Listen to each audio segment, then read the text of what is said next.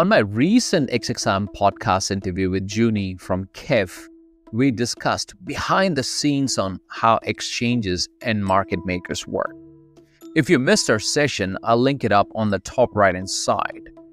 In this presentation, which I put together, I would like to extend that content and discuss high level market making and why most exchanges expect crypto projects to bring market makers to them, as Junny also highlighted in our discussion. So let's start with the basics first. Let's start with what market makers are and what really is market making. Market makers and market making is not a new concept.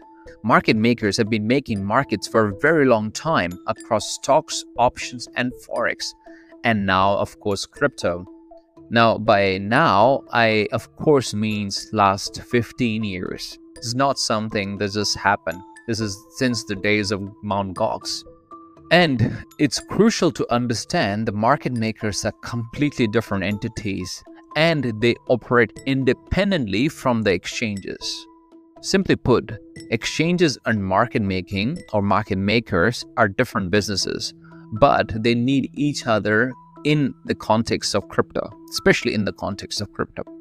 Let's take a look at a simple example to explain the role of a market maker. Let's say you would like to buy one Bitcoin and Bitcoin is trading at $88,520. Now, without a market maker, the transaction would just sit there until another participant or a seller decides to show up and decides to sell at a precise price that you're willing to pay for it, which is $88,520. So, see, that's exactly where market makers come in. They maintain continuous liquidity by posting buy and sell orders across various different prices.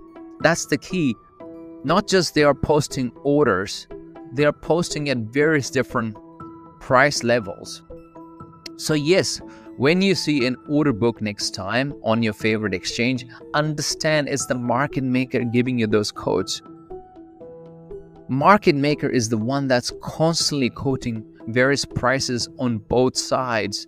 And the way they make money in this process is buying at a slightly lower price, at a bid price, and selling at a slightly higher price, or what we call ask. Essentially, creating a bid and ask spread. You might have heard this term bid and ask spread. When a trade gets filled, market makers profit from the difference between what they buy and what they sell for. Now, making market is a complicated business and involves many complicated financial risks they take and things they do to make yield on their investment.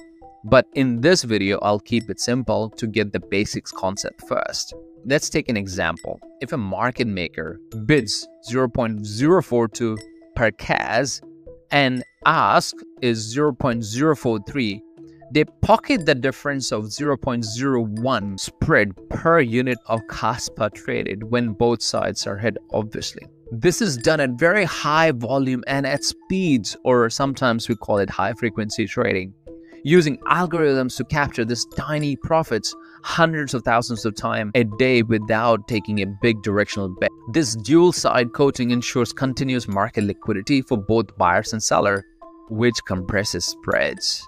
Now, as Junny pointed out as well, all major cryptocurrency exchanges rely heavily on market makers to ensure smooth trading operations.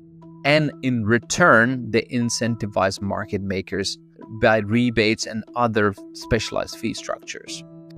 Now, these partnerships are very crucial and critical for an exchange to provide reduced slippage on orders and to support new token listing or market pairs.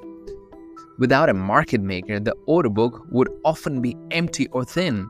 Traders couldn't buy or sell quickly without big price slippage. Right. So now these are some of the big market makers on crypto. So exchanges need market makers and market makers need reserves. Crypto projects, especially the new ones, likes of Kaspa often have low natural liquidity, wide price spreads, high volatility. So for those reasons, exchanges require projects to bring market makers Now, that's okay. But where this gets interesting is when market makers require a big portion of the project supply. Market makers are happy to jump in and solve this liquidity issue by providing consistent buy and sell.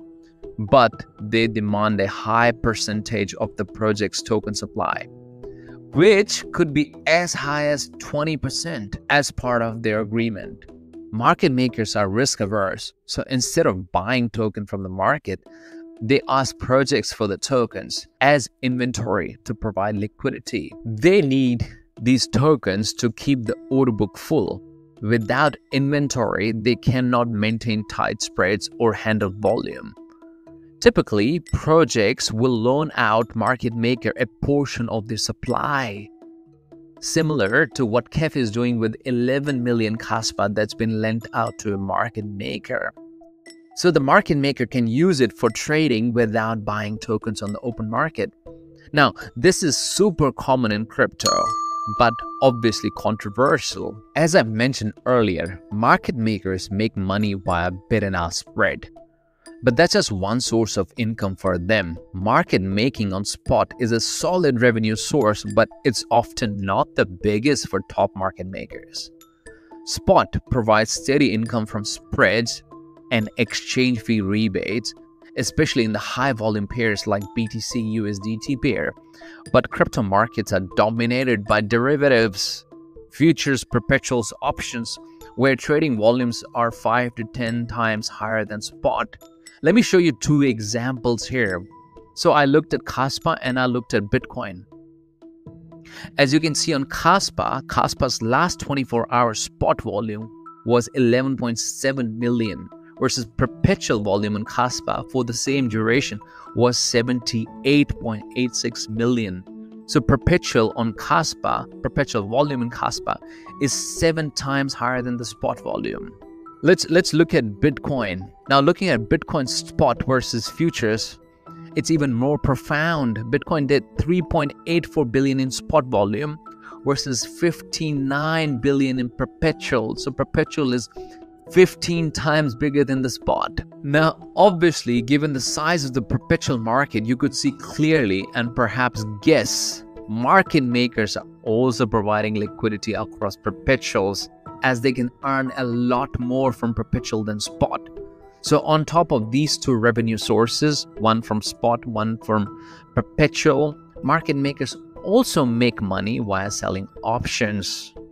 Now, this is going to be my next video where I will discuss crypto options via CoinCall and market makers delta hedging strategies that I discussed with Junny. So I'll go into detail discussing how they delta hedge with some examples.